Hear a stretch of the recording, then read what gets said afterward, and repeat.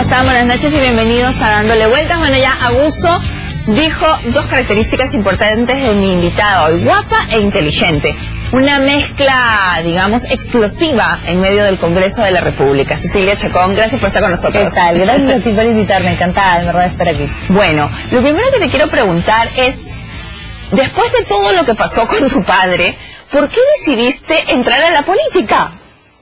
Esa es una pregunta que se me hace, se me hace, ¿no? Este, la gente no, no entiende cómo así llegué a la política. La verdad que yo hasta ahora lo comprendo a medias también. Eh, mi padre estaba preso, eh, nos habían involucrado a todos en la familia en un proceso totalmente absurdo, muy largo, y de alguna manera eh, yo era consciente de que mi padre se sentía bastante mal por nosotros más que por él. O sea, él era el que estaba encerrado, pero sin embargo se sentía peor. Siete años. Eh, estuvo preso. estuvo preso siete años, se sentía mal por nosotros, ¿no? Porque de alguna manera sentía, oye, si yo no tengo nada que ver, ¿qué tienen que ver ellos? Y, y am, yo fui siete años dirigente gremial del sector turismo a nivel local, nacional eh, y regional. Eh, presidí el directorio del primer proyecto de- de- del Banco Interamericano de Desarrollo a través del FOMIN, eh, el primer proyecto del clúster de turismo a nivel mundial, en fin. Hice varias cosas en, los siete años que fui dirigente gremial. Y en ese momento me pedían mucho, oye, ¿por qué no postulas a regidor? ¿Por qué no postulas a esto, al otro? En fin. Y la verdad que yo nunca quise, porque dije, uy, la política, a ver, mi padre está ahí por la política, ¿no? Claro. Eh, sin embargo, él, él, él se entusiasmaba mucho cada vez que a mí me entrevistaba, me preguntaba, se sentía muy contento. Hasta que un día nosotros no teníamos, yo no era el partido, nunca había sido el partido, no tenía ninguna cercanía con el partido. Mi padre fue un hombre de carrera que llegó a esa posición siendo general de división. Entonces, eh, le comenté un día que me habían dicho para ser precandidata en la lista del Fujimorismo, pero no los dirigentes nacionales que yo no conocía, sino en Cajamarca porque ya era el tema de las cuotas de mujeres y en provincia a veces es complicado, eh, mucho más que en Lima, encontrar a mujeres que estén dispuestas a salir congresistas y mudarse a Lima si es que salen o, o que quieran entrar en política. Entonces, este, como yo, yo le comenté a mi padre y, y la cara de felicidad que puso Ah, no me digas. Este- Yo pensé que me ibas a decir que tu padre te No. iba a decir, Cecilia, ¿cómo se te ocurre? Mi madre, Ah. mi madre, es la cauta. Sí, y me dijo, él, y me dijo, acepta, porque si es que te ponen en la lista es que saben que soy inocente.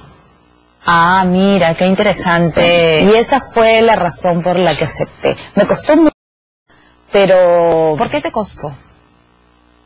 Me costó porque efectivamente soy consciente de que si mi padre no hubiera tenido un cargo político, además por solo tres meses al, al final del gobierno Fujimori, no hubiéramos eh, una de las experiencias más complicadas que hemos tenido Mm. a nivel familiar, personal, que todavía además no termina, ¿no? Un día crucis espantoso que no se lo deseo absolutamente a nadie. Eh, y han sido momentos muy difíciles y de alguna manera soy consciente de que eso es por la política. Ahora, la- la- ahora el otro tema era, ¿por qué por el Fujimori? Yo sé que las bases te lo pidieron, que es lo que me estás contando, porque tu padre fue ministro al final de ese gobierno. Pero tú, que sabes cómo fue todo el tema, con sus positivos y sus negativos, ¿no pensaste en algún momento en otra opción política? No. Es más, cuando me lo habían pedido otros partidos políticos, tanto locales como de otras tiendas políticas a nivel nacional, para tener, entrar a, la contienda, a diferentes contiendas, eh, no necesariamente congresal, también, pero eh, municipalidad, región, etcétera. Otros, nunca ni siquiera lo, lo, lo pensé. Esta vez fue la única vez que, que, que lo comenté y, y de alguna manera me cruzó por, por, por la cabeza, porque si bien es cierto no pertenecía al partido, yo no este era miembro del Claro. partido, no Y conocía... no cargas directamente ninguna responsabilidad No. con el gobierno de No, aparte que yo no conocía al presidente Fujimori, no la conocía a Keiko, no conocía a nadie del partido. En realidad, este, yo viví muchos años fuera del país después que me casé. Eh, y cuando yo regresé, después de cuatro años de vivir fuera y, y- y aterricé en el Perú, en el camino del aeropuerto a mi casa me hice fujimorista hasta el día de hoy. ¿Por qué? Porque vi una Lima distinta. Yo conozco el Perú desde hace muchos años, desde muy niña, por la carrera de mi padre. Si bien es cierto, viví siempre en Lima, todas las vacaciones íbamos a provincia. En las épocas donde nadie salía de Lima porque te mataban en la esquina los terroristas o te pedían cupos y demás, yo viajaba muchísimo al interior del país, y, pero viajaba además a convivir con la gente y, veía las necesidades, veía lo que pasaba. Y, bueno, creo que eso fue formando en mí una sensibilidad eh, que, que, al final, mira tú, ha, ha llegado a esto, pero y cuando vi las calles, luces, Lima era muy oscura cuando yo me fui porque había muy pocos postes, no habían grifos, no habían teléfonos, no habían carros, no había eh, restaurantes, los cines estaban quebrados, estaban cerrados. Y llegué a una Lima diferente, una Lima con vida, 97. Mm, todavía estaba el gobierno de Fujimori. Sí, sí, y este y yo dije, wow, y lo que pasó a partir del año 98 con el gobierno de Fujimori, ¿qué sensación te dio? A partir de los Vladivideos y todos los temas de corrupción. Bueno, como cualquier ciudadano en este país, no lo podía creer. Este, yo estaba realmente en shock cuando lo vi. Eh, mi padre era ministro. Mi padre era ministro eh, en ese momento y te juro que yo no lo podía creer. Yo decía, Dios mío, que estoy bien. ¿Qué está pasando? Fue fue terrible, fue terrible, fue creo que para todos en este país. Claro, eso, de eso no nos shock, excluimos. No, no, no, fue un shock muy, muy grande, ¿no? Pero obviamente eh, personas que van en contra de la ley y que delinquen ahí en todos los gobiernos, sino eso no lo hace responsable directo a nadie más que la persona que comete el delito, ¿no? Y eso, eso es lo que deberíamos acostumbrarnos. Pero sin embargo fue una corrupción ¿no? O sea, fue tremendamente Sí, hubo mucha corrupción, lamentablemente, este en el gobierno de Alan García hubo muchísima corrupción también. no, no estoy comparando y además que igual igual no interesa en qué gobierno la corrupción no debe existir en ningún gobierno, pero digo hubo mucha corrupción en el gobierno de, de, de, Alan García, en el gobierno de Belaúnde hubo mucha gente que se hizo millonaria, no sabemos cómo, en fin, lamentablemente en el país la corrupción ha ido escalando, ha ido creciendo, e, es lamentable. Eh, es un, es un, es un tema terrible del que ojalá lo antes posible pudiéramos sacudirnos. Ahora, el tema también con el gobierno de Fujimori es el 5 de abril. Es esta ruptura de institucionalidad democrática. ¿Fue así para ti? ¿Fue una ruptura de la institucionalidad democrática? Mira, como conocedora de la realidad prácticamente in situ, he conocido mucha gente que fue acribillada por Sendero, que murió eh, en la época del terrorismo, oficiales, suboficiales, soldados, gente tropa, que tú sabías que moría, eh, que los veías hoy y mañana te decían se murió. Eh, yo era más chica, o sea, era algo que siempre me impactó, el sentirme tan orgullosa de ser peruana y que mi padre y mi abuelo hayan sido militares, en fin, y que era una realidad que pensábamos que no íbamos a salir de ahí nunca. Eh, y, lamentablemente las leyes que habían en ese momento y el actuar del Congreso, porque tú lees los debates en, ese, en, esos años y que, Dios, o sea, parecían más bien que estaban más a favor de los terroristas que, que, que, de los que no lo eran, ¿no? Entonces no se, se necesitaban muchísimos cambios, no pudo haber hecho fue, estoy de acuerdo con romper las instituciones, estoy de acuerdo con las dictaduras, estoy de acuerdo con, en general, con todos esos temas, no, ni en Perú ni en ninguna parte del mundo. Creo que, que, que fue algo que sucedió y que gracias a Dios fue para bien, o sea, salió bien, pudo haber sido al revés. Además fueron seis meses, se, se, llamó inmediatamente a, a, a, se hicieron elecciones para eh, un Congreso Constituyente del que todos los partidos políticos formaron parte, en fin, o sea, no se puede decir que el 5 de abril y hubo una dictadura y luego, no, no fue así, hubo un, una constituyente, se hizo una nueva constitución, la, de, la del 93, que hasta el día de hoy está vigente. eh, lamentablemente, eh, ocurrió esto, pero al final los resultados que tuvimos a razón de la constitución y de muchos cambios que se hicieron, y sobre todo porque no se quedó eh, el presidente Fujimori en esa situación, hubieron elecciones, etcétera, etcétera. Digamos, quisieron mover, no estabas tú en ese grupo. No, no estaba Pero yo. se hizo toda la movida para, para la re- reelección. Bueno, no nos olvidemos que la misma Keiko Fujimori, su hija, estaba en contra es, de la tercera reelección. No nos olvidemos que ella firmó Así el es. referéndum. Flores lo contó en Así el es, programa la vez Así pasada, es, ella firmó el referéndum para que no haya una tercera ele- reelección. Yo creo que fue un gravísimo error eh, ir a una tercera reelección, forzar de alguna manera la situación. Este, y eso es lo peligroso, ¿no? Ahora, Eso es lo en- pe- ahora, uno aprende. Uno aprende eso iba. En el fujimorismo parece que hay como dos generaciones, ¿no? La tuya, que es una gente como, por ejemplo, dijo Augusto, ¿no? Guapa, inteligente, otros, este, jóvenes, valores, Juan José, en fin, un montón de gente que uno se pregunta, bueno, y estos chicos talentosos, jóvenes que no han estado en el gobierno anterior, han decidido ser fujimoristas. Esa es una corriente. La otra es la que estuvieron, como Luz, Marta, etcétera. ¿Cómo conviven estos dos grupos dentro del partido? Bueno, para empezar, eh, nosotros creo que ambos eh, somos fujimoristas porque reconocemos eh, los grandes logros que hubieron durante los años del gobierno del presidente Fujimori. Eso no significa eh, que avalemos lo que hemos dicho que nos ha parecido mal, mal, está mal. ¿no es cierto? Que lo ha reconocido Keiko muchas veces antes, Lo lo reconozco yo lo reconoció yo, lo reconocen todos, en fin. Eh, pero al mismo tiempo creo que somos los, eh, los que ponemos en una balanza lo positivo y lo negativo. Nosotros, Ana, contigo somos la generación del terrorismo. Nosotros perdimos. Perdimos nuestros mejores años. No podíamos salir a la calle. Habían bombas, los cines cerraron, no habían restaurantes, no nos dejaban salir a ninguna parte. Las fiestas eran de toque a toque o simplemente pues estamos hablando pues cuando tú eres una chica de 15 años y estás pensando en tu fiesta de 15 y a dónde vas a la fiesta, en fin, no hemos nacido tú pensando en el periodismo y yo pensando en política nada más. Entonces, eh, era una, era una época muy difícil, además eh, la falta de seguridad que nosotros como éramos adolescentes intrépidos tal vez no nos dábamos cuenta, pero los- nuestros padres sufrían cada vez que nosotros atravesábamos entiendo, la puerta. entiendo el punto de vista, pero también eh, otras personas también se preguntan, eso es muy valioso y hay que reconocerlo. Así, tal y cual te lo digo. Igual el tema económico, ¿no? Igual el tema económico. Sí. Ahora, hay otros temas. Y la firma de paz con el Ecuador. Y claro, pero lo que pasó con el Poder Judicial, lo que pasó con los medios de comunicación, la compra de congresistas, entonces es una con otra. Digamos, lo que yo te estoy Yo te preguntando estoy diciendo, es- hay un balance, Exacto. ¿no es cierto? Es como lo ves tú, yo, lo por supuesto, yo reconozco, eh, y no solo reconozco, creo que fue terrible muchas de las cosas que se dieron, o sea, esos fajos de dinero, y, y lo estamos en la prensa, en el Poder Judicial, en fin.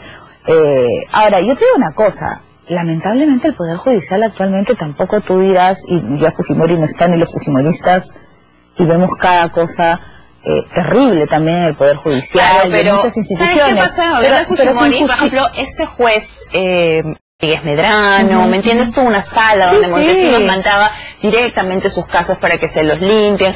Yo sé que tú lo sabes, yo sé que ustedes lo cosas tienen que claro. son, Lo hubieron cosas que es- son inaceptables y que las personas que eh, hicieron ese tipo de, de actos que son delitos pues han sido juzgados y sentenciados y bien sentenciados, sentenciados que están. Y yo no puedo justificar, o sea, estaría donde vivo, en la luna, si yo tratara de justificar los casos de corrupción que hubieron, lo que vimos de alguna manera horrorizados en las pantallas.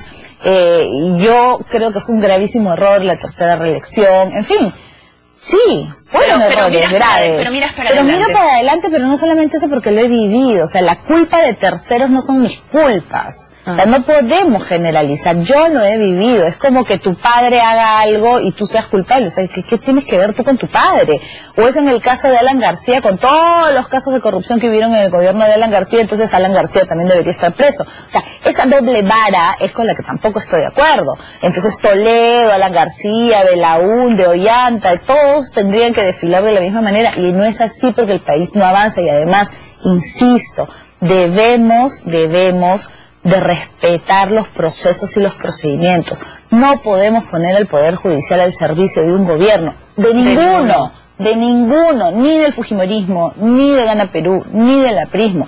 Lamentablemente en nuestro país tenemos una larga tradición de poner al Poder Judicial al servicio de la política y estamos siempre en este círculo de quién acusa a quién y de cómo lo inhabilito y de cómo limpio postular y de cómo le arruina la, carrera política y así no avanza, no nosotros, no avanza el país, ¿no? y, eso es lamentable. me acaban de entrar 20 preguntas. Vamos a una pausa y volvemos con sus preguntas.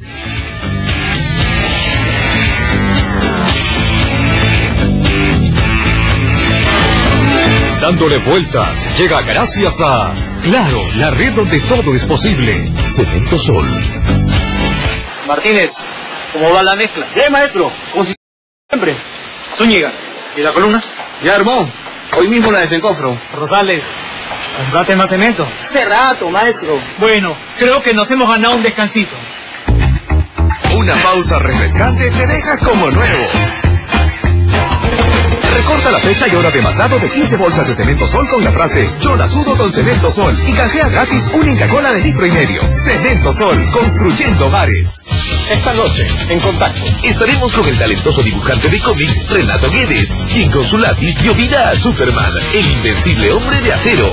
Todo esto y más, hoy a las 11, en contacto, con Marcos y Fuentes por ATV Más. Ahora disfruta TV Más en Movistar TV Canal 17, en Claro TV Canal 10, si no tiene cable en el 21 y en televisión digital terrestre en el 9.2. Hola, yo soy Mirta Ibáñez y esto es Doble Click Magazine. Yo también soy Mirta Ibáñez y esto es Doble Click Digital. Aquí podrás disfrutar de lo mejor de la agenda cultural, alfombra roja, nuevas tendencias y lo más Y conmigo tendrás lo último en tecnología, lanzamientos, videojuegos y tips tecnológicos. Doble Click Digital, de lunes a viernes a las 2 de la tarde. Y Doble Click Magazine, a las 6 y 30 de la tarde por ATV Más. Ahora disfruta de ATV Más en Movistar TV Canal 17, Claro TV Canal 10, si no tienes cable en el Canal 21 y en televisión digital terrestre en el 9.2. ATV Más, avanza y crece. Bien, vamos dando curso a algunas de sus preguntas. Eh, Felipe Belisario me dice, eh, ¿dónde estás? ¿Eres consciente, Cecilia Chacón, de que tú y Luciana León son las congresistas más deseadas? bueno, le agradezco el comentario, son sus ojos de cariño. Pero estás este, Muchas gracias. Eh, bueno, yo creo que primero le agradezco sus palabras. Eh, pero bueno, yo creo que ese, ese molde de la mujer que está en política o la mujer que llega a un cargo, ya sea en el sector privado o en el sector público, tiene que ser este algo así como la abuelita de, claro, el, de Piolín. El, sastre está el tobillo. El sastre el tobillo, el, moño, los lentes, ¿no? Y no solamente es ese gran prejuicio con el que creo que muchas mujeres tienen que luchar el día a día, de que porque son inteligentes, entonces no se pueden ver bien, o si se ven bien, entonces no son inteligentes. Ahora, ¿los congresistas se cirean? eh, sí, creo. Somos, somos eh, a ver, eh, yo ya estoy ocho años en el Congreso. a muchos de ellos, mi segundo periodo, a muchos de ellos los conozco ya hace ocho años. Hemos convivido y convivimos prácticamente. Bueno, pero hay piropos y Todos los días. No, son muy respetuosos, son muy galanes. Yo soy de las personas y de las mujeres que un buen piropo siempre lo recibo eh, positiva y me alegran el día. Te mueres de risa si te dicen un me río, sí, me sonrío, agradezco. eres muy este te gusta mucho cuidar tu aspecto personal. Bueno, de hecho siempre eres super fashion y estás como muy cuidada, pero ¿qué tanto inviertes en esto? Bueno, lo que pasa es que, no nos olvidemos que mi madre es una diseñadora de toda la vida. Se ha dedicado de Vettori, el atelier de Vettori, en San Borja Norte, se ha dedicado a la moda toda su vida. O sea, a mí la moda ha hecho... Eh, ahí mira tu ahí está, Esa es una sesión de fotos. Eh, mi madre, que se ha esforzado muchísimo desde que somos muy chicos, una mujer sumamente trabajadora, eh, que, que, ha logrado con su esfuerzo y su trabajo darnos muchas cosas más de las que normalmente podía tener un hijo de militar el, el en ese rango. mamita exclusivamente. Sí, sí, sí, su chamba. Su chamba. ha tenido tiendas en el centro de Lima, en Larco, Taller, eh, olvídate, mi mamá es una trome, una trome, una trome, y este, entonces yo he crecido entre tijeras, centímetros, trapos, ¿Nunca telas. te inclinaste por aquello? Bueno, sí, sí, yo siempre he trabajado con mi mamá, me Ah. encanta, me encanta. Cuando voy a la tienda no tengo tiempo, la verdad. Mira, no tengo tiempo, no tengo tiempo, la verdad, y es una pena, pero me encanta probar, me encanta marcar las tallas, Ahora, ¿cómo entallar, vives? entallar un sastre. Y tengo una hermana que es mi Perú. Eso te iba a decir, ¿cómo vives Entonces, tú, una hermana? Dime tú, ¿cómo no? O sea, Espectacular. no es que me cuide mucho, es que me nace, o sea. Y lo tienes heredado de la mamá. Sí, mi mamá es una mujer espectacular, elegantísima, guapísima. Y tengo una hermana que además de preciosa es muy inteligente y de la cual estoy muy orgullosa. Le mando un beso gigante. Ahora, Mónica y tú, ¿se parecen mucho o tienen...? No, no, somos- no, son caracteres diferentes, ¿no? Totalmente. Yo soy más diferente de todos, no es como que... Ustedes son tres. Somos tres. Juan Carlos, Juan Mónica Carlos, y- mi hermano mayor, eh, por 11 meses nada más, con el que soy muy, muy unida, porque nos hemos criado casi como mellizos. Con Mónica, que ya no se nota mucho, pero cuando era chiquita, no, la cuidábamos, le creíamos mucho, y yo soy el sándwich. Y yo siempre he sido la más, este, mi papá dice, chicharachera.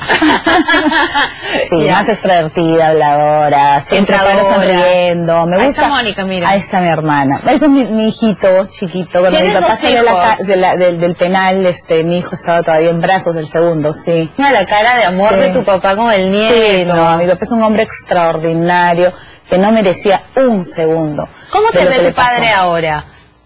En tu, en tu labor política, te aconseja. Sí, Bueno, mi padre siempre me ha hecho sentir que está, que ha estado siempre muy orgulloso de mí. Ay, qué bonito. Sí. Y la verdad, y la verdad que no siempre yo sé que he tomado las decisiones que él hubiera querido que tome. Pero Ah, bueno. siempre me apoyó, siempre. Mi padre Incondicional. siempre- incondicional.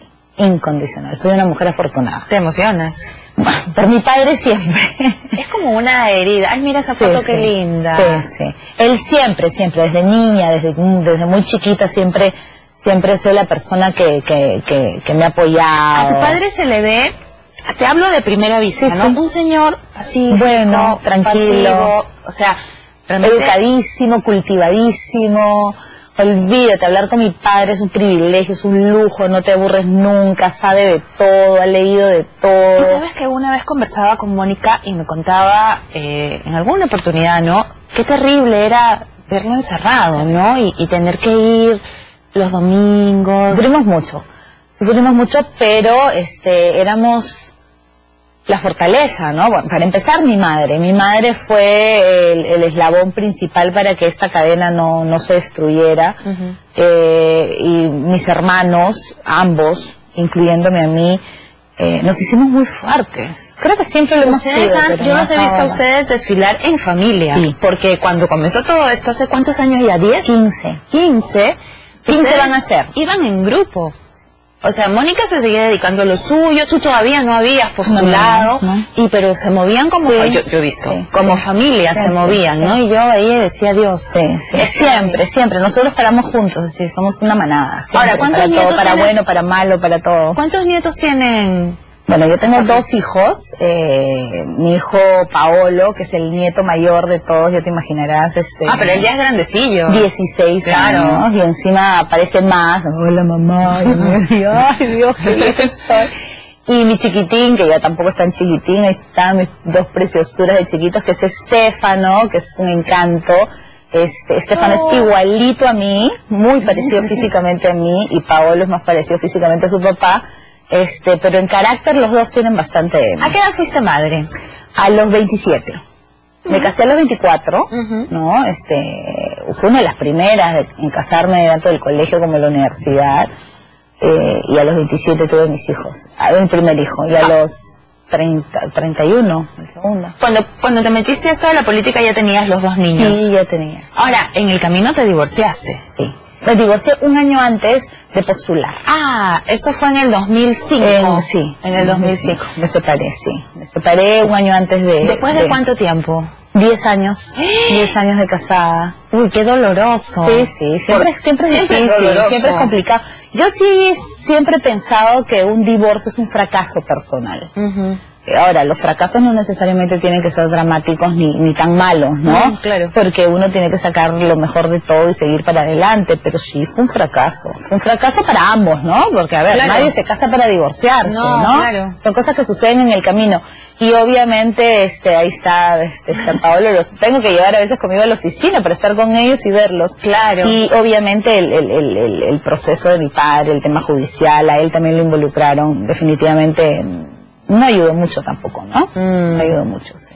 Bueno, pero después que te divorciaste, postulaste al Congreso y ya, hijos chicos, congresista. O sea, ¿en qué momento de ahí hasta ahora te diste oportunidad para volver a enamorarte?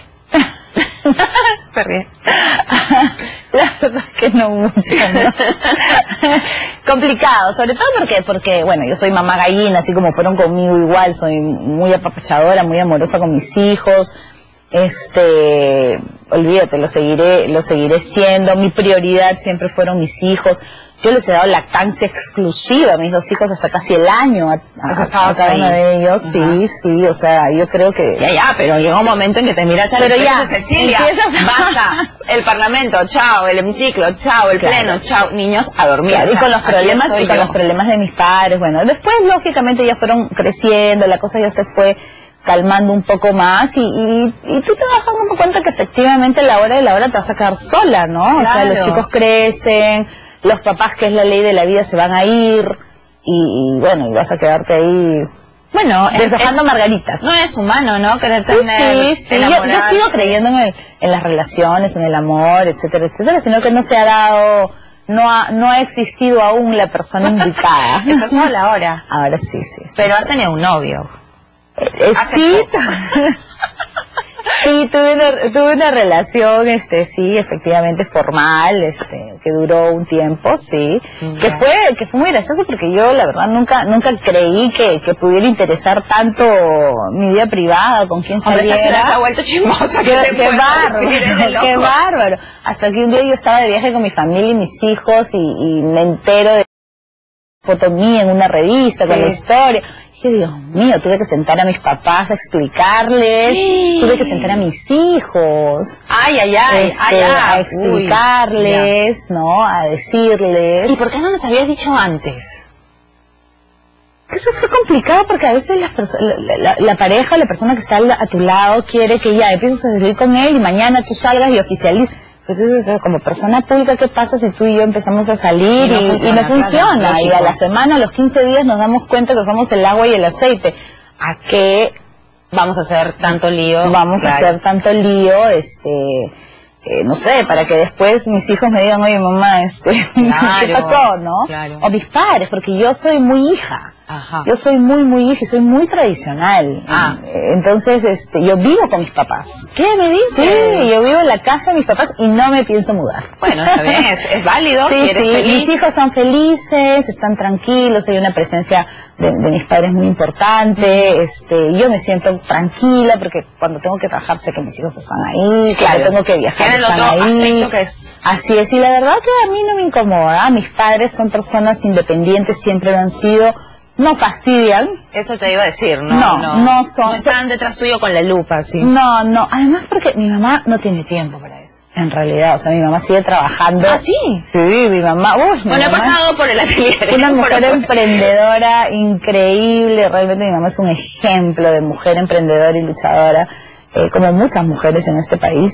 Y mi papá sabe mantenerse ocupado, entre tanto juicio, abogado, lecturas de expedientes Ya el y demás, sí, sí, eso que ya es parte de la vida cotidiana y este y bueno otras cosas. ¿no? Ahora, Está- ¿planeas está, en dando algún- clases de este En algún momento, si te enamoraras bien y tuvieras estas certezas, que, bueno, dada la forma que me dices como, que, que tú eres como conservadora, yo, yo creo que una mujer conservadora necesita varias certezas para tomar la decisión de salir de su casa, Sí, claro. ¿no?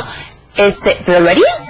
¿Estarías Sí, dispuesta? Sí, yo soy muy romántica. Ya, Yo creo que por amor todo vale. claro. ¿Y qué, ¿Y qué certezas son aquellas que necesitarías tener respecto a una pareja para poder decir, ok, me voy a vivir contigo? Con dos hijos, ¿eh? que no es poco.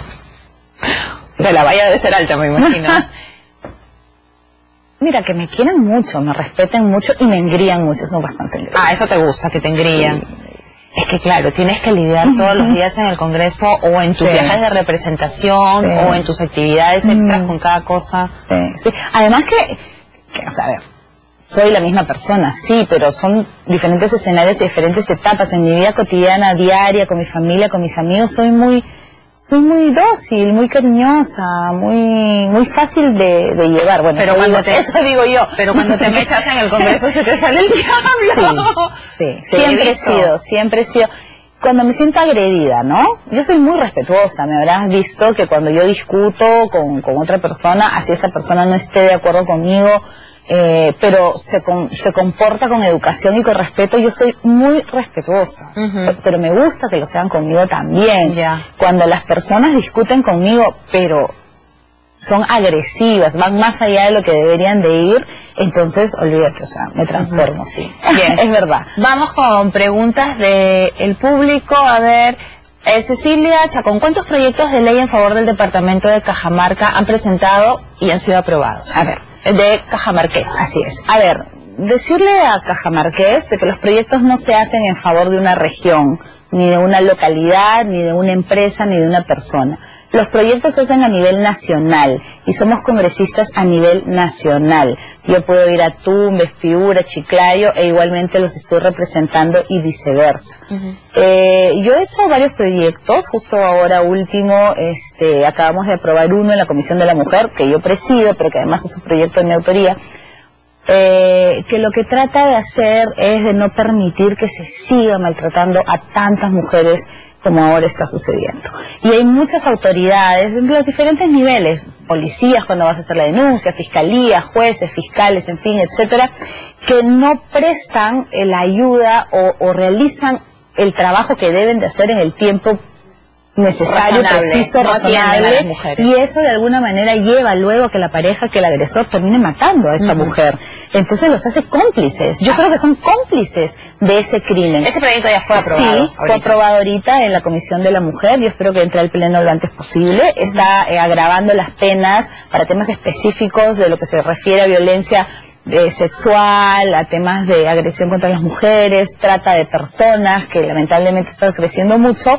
En estos temas específicos donde la vida de quien hace la denuncia está en riesgo y en peligro inminente, pues hayan sanciones de, de Sí. dos hasta cuatro años de pena para estas personas o funcionarios públicos que eh, se vuelven cómplices de estas de estos maltratos. Ahora, en total 18 proyectos de ley. ¿Esto es en, en esta legislatura? sí, sí, Ah, en esta ya. legislatura. Bueno, es una cantidad. Sí, sí, sí. Tengo varios en camino, ¿no? Ya. Tengo, tengo, por ejemplo, uno de los bomberos, Ajá. porque, eh, a ver, eh, tuvimos un incendio hace poco que fue terrible, duró varios días, hubo una- un, un bombero voluntario que en el trabajo le dijeron chao porque no iba a trabajar. Sí. Entonces, eso no se puede permitir. He hecho una iniciativa legislativa que espero que la vean lo antes posible para que el, el sector privado y el sector público si tienen a un bombero voluntario y obviamente se certifica que efectivamente esa persona estuvo de turno y estuvo apagando incendios y salvando vidas, No pues el empleador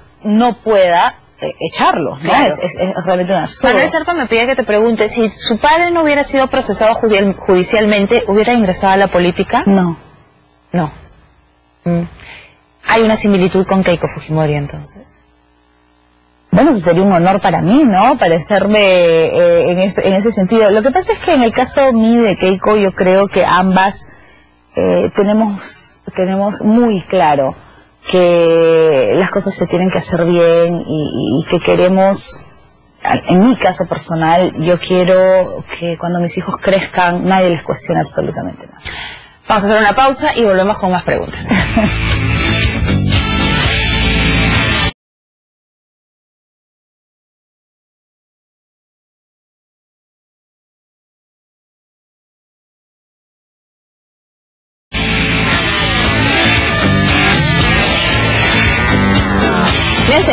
la congresista Silvia Chacón. Luis García dice que él te puede engreír, si tú quieres. Si tú- aquí estoy yo, dice Tony Estrada. Tienes tus fans. Tienes muchos fans. Ay, qué lindo. ¿Verdad? Ahora, acá hay un- una pregunta. ¿Por qué se protege, eh, José María dice, ¿por qué se protege con su inmunidad parlamentaria ante la justicia y que explique el enriquecimiento ilícito junto a su esposo? Yo sí quería que tú expliques, porque no quiero que pases Sí. entrevistas sin tocar Sí, ese sí, punto. sí. Bueno, qué bueno que lo pregunta, porque, ¿cómo se llama la persona que acabas de leer? José María. Porque José María lamentablemente no tiene la información este, actualizada. Yo pedí se- eh, que se empezara nuevamente mi juicio y renuncié a mi inmunidad parlamentaria. Yo he ido a juicio eh, sin necesidad de que me levanten la inmunidad en el Parlamento. Eh, en un juicio donde primero sentenciaron a mi familia a cuatro años, eh, pero acá es una cosa ilógica. A mi padre el Tribunal Constitucional lo saca del proceso porque dice que ha sido un proceso que no servía, de que no se respetó la presunción de inocencia, el debido proceso, y que, para hacerlo corto, que ya el Estado no podía seguir persiguiendo, lo que no había sido capaz de demostrar su culpabilidad en más de 12 años, por lo tanto, concluía y se respetaba su presunción de inocencia. Sin embargo, a nosotros, que somos los supuestos cómplices del autor, que era mi padre, No los excluyen. no, nos se siguen procesando y rápidamente sentencian a mi familia a cuatro años. Eh, la Suprema, la Sala Permanente, este, anuló el proceso, para los que sepan, o sea que no tienen absolutamente ningún cargo, todo lo contrario, se ha demostrado lo que hemos venido diciendo todos estos años. No se respetó el debido proceso, no se respetó la presunción de inocencia, fue terrible lo que se hizo con mi padre, con mi familia, eh, y ahora el proceso ha empezado nuevamente de cero, pero lo que es lo absurdo de lo absurdo es que si tú acusas a alguien de enriquecimiento ilícito, lo mínimo que debe de haber por parte del Estado, que es el acusador, es un, eh, un peritaje, donde te digan, ok, sumas, restas, tú tienes esto de balance. No existe. A tu padre se le acusó por entregar un, un cheque de 50 mil dólares a este señor Ah, Silva. eso, ese, ese fue otro juicio. Mi padre ha tenido muchísimos juicios. ¿Cuántos cargos y- ha tenido tu padre? Ha tenido como 10 juicios, creo si no me equivoco, o 12. Yo le perdí la cuenta. Todos fue declarado inocente. Todos. Y después del más largo, que fue el que nos, nos, nos El incluyeron que a nosotros, nos incluyó fue el de enriquecimiento ilícito. Pero dice, ahora, se hizo peritaje de las cuentas, efectivamente. No, no existe ahorita ningún peritaje. No existe. Pero ¿cómo han pasado 12 años sin O peritaje? sea, han hecho un peritaje que, eh, que la misma sala ya observó y dijo que no sirve. Entonces ha ordenado que hagan un nuevo peritaje para un nuevo juicio. Y ya se inició el juicio y no hay peritaje.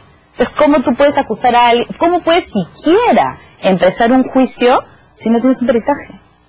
¿No? Entonces, obviamente, luego yo entré al proceso, la sala igualmente a los cuatro años, estamos esperando, y yo espero que no sea anulación de proceso, sino absolución. Tú, eso es lo que corresponde Tú quieres llegar hasta el final y que... que sea una absolución y no solamente una absolución, sino que pidan disculpas por esta vía crucis que nos ha hecho pasar eh, durante tantísimos años y que además no solamente lo pasamos nosotros, hay muchísima gente en este país que es víctima de un poder judicial eh, que, que no está funcionando para muchos. ¿no? Ahora, tú al comienzo de todo esto hablabas de una persecución, pero digamos, se han pasado 12 años, 15 años, O sea, tres gobiernos. ¿qué tal? O sea, ¿Esto ya es persecución o es una negligencia? Mira, yo creo que ya el monstruo camina solo, ¿no? O sea, sí hubo todo un sistema para, para inculpar, para, para meter presos, para meter a las familias, para que ellos pudieran hablar y acusar con este famoso sistema de acusa a, a fulano y a sultano, entonces tú yo te bajo tu pelo, te dejo libre, si no mira a la señora pinchi pinchi y demás, ¿no?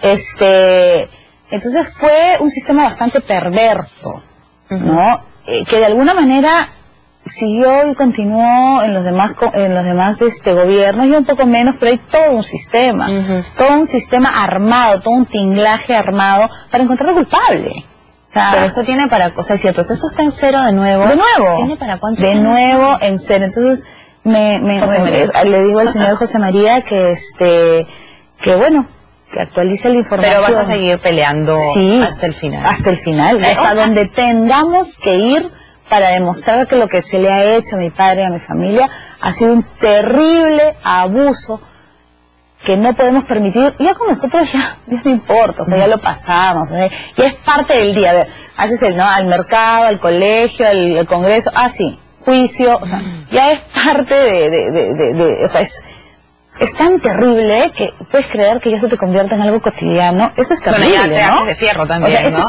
pero es terrible, es terrible. O sea, llegar a ese punto de volverte de volverte algo cotidiano, o sea, no debería pasar. Dime una cosa, eh, me pide Felipe que te pregunte, ¿y aún así todo vas a volver a postular al Congreso?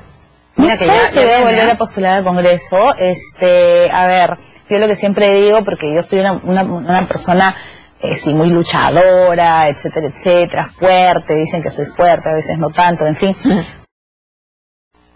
Pero al mismo tiempo yo nunca me pongo metas ni objetivos a largo plazo, o sea, Pero estás en una carrera política. ¿A dónde quisieras a llegar ver, en yo lo esto? único que he planeado en mi vida han sido mis dos hijos.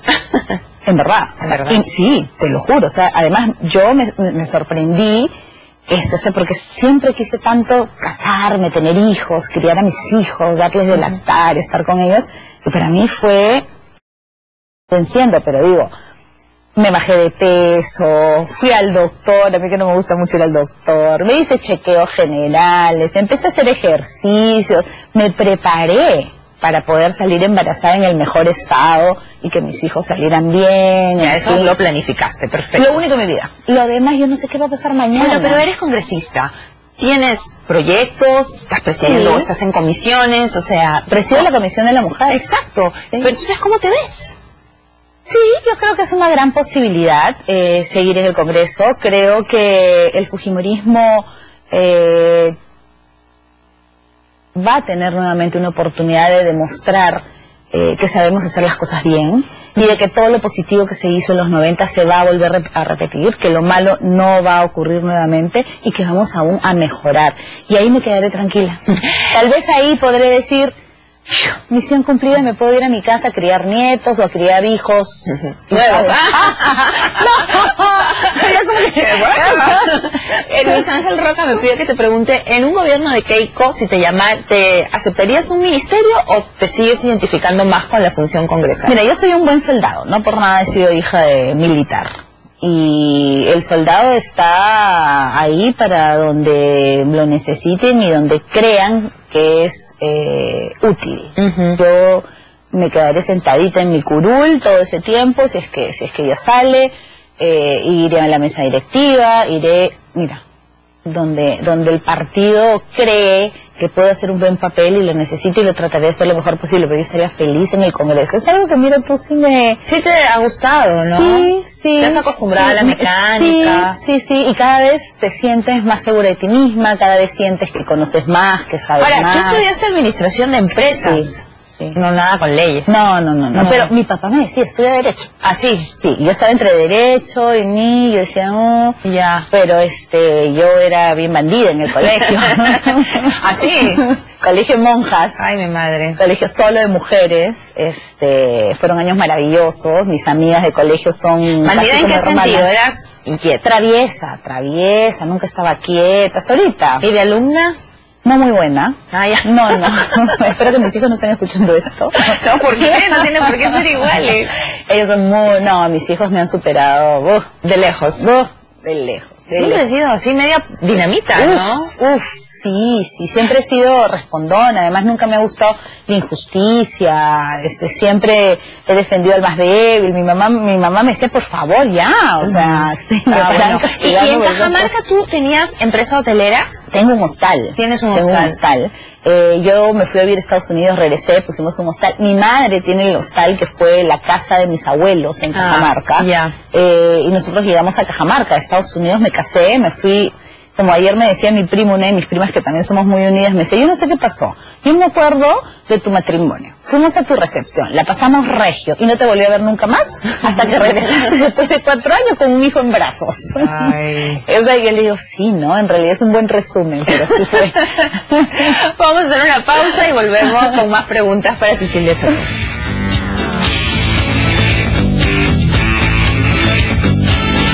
Ahora disfruta de ATV Más en Movistar TV, Canal 17. En Claro TV, Canal 10. Si no tienes cable, Canal 21.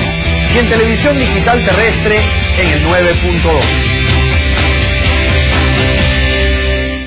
Esta noche, en Contacto, estaremos con el talentoso dibujante de cómics Renato Guedes, quien con su lápiz dio vida a Superman, el invencible.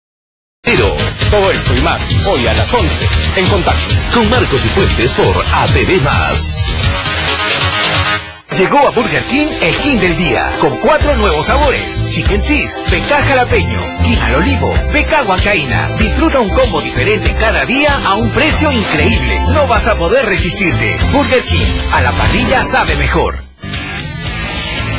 Bien, continuamos con Cecilia Chacón. ¿En qué colegio estudiaste? En el Reino de Los Ángeles. Ah, todo, completito, los 11 Todo, desde, desde kinder hasta quinto de media, hasta eh, en la época que en, en La Molina no había absolutamente nada, ¿no? Yo me acuerdo que yo pasaba, lo único que había era el recolete y de ahí hasta mi colegio era solo choclos.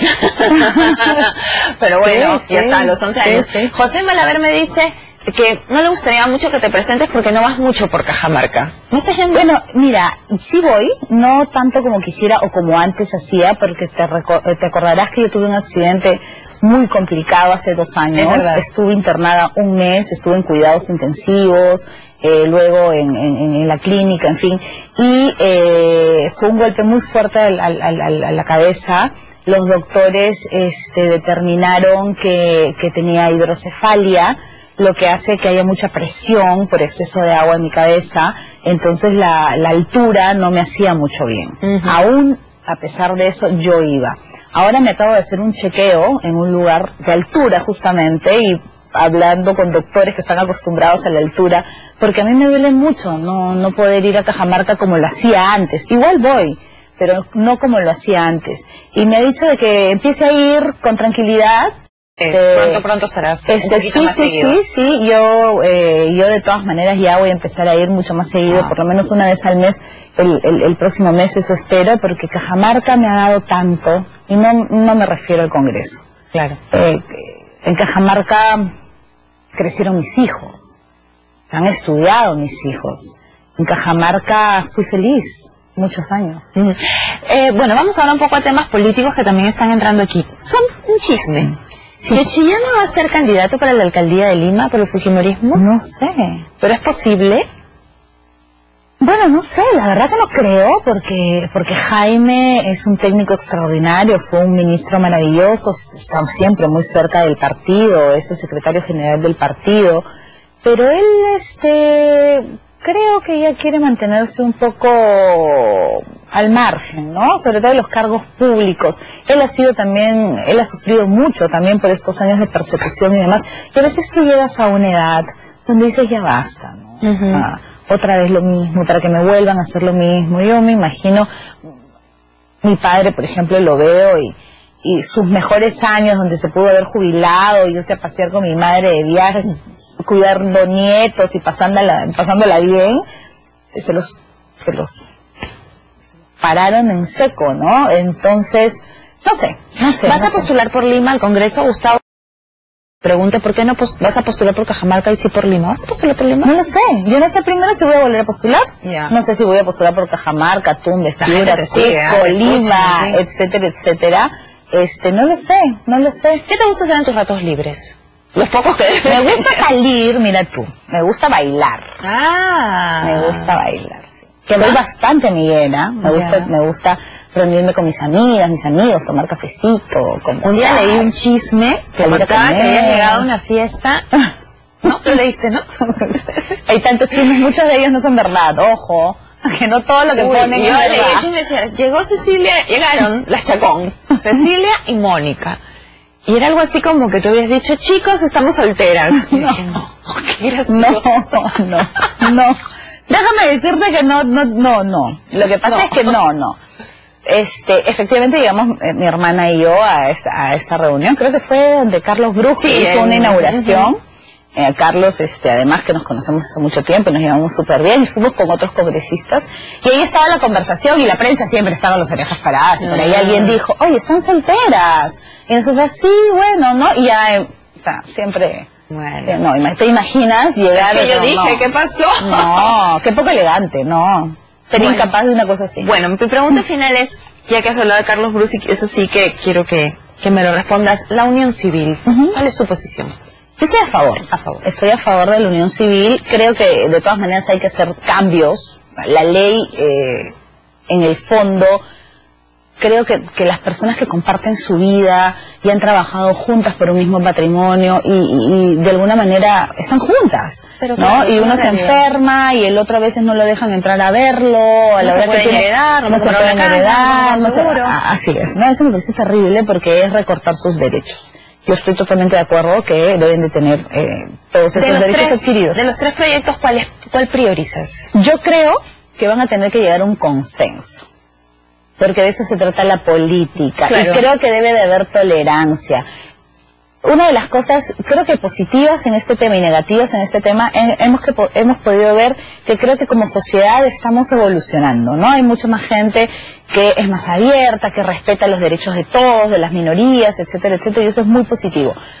Pero también estamos viendo la poca tolerancia que existe. Y eso es lamentable, porque yo puedo estar de acuerdo, no puedo estar de acuerdo, pero yo que sí estoy de acuerdo, una persona que no esté de acuerdo no me va a atacar por mi posición. Lo que no se puede es agredir. Y viceversa, cosa que lo estamos viendo en este tema, Bien. de ambos lados. Y eso ojalá, porque eso no está ayudando a la discusión y yo espero que se llegue a un consenso, porque sería una pena que después de este pequeño gran paso en esta eh, en este derecho que se tiene tengamos que retroceder simplemente porque no hubo tolerancia y porque no hubieron acuerdos.